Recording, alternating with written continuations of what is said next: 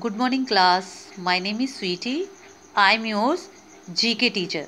Today I will teach you body parts name and my family. So, let's with the start of body parts name. Eye, nose, ear, head, finger, tongue, hand, leg. Now, next, my family. Students, many people live in home like maid, gardener, guard, but they are not our family members. Our family members are father, mother, brother, sister, grandfather, grandmother. Okay? Everyone note down and learn it.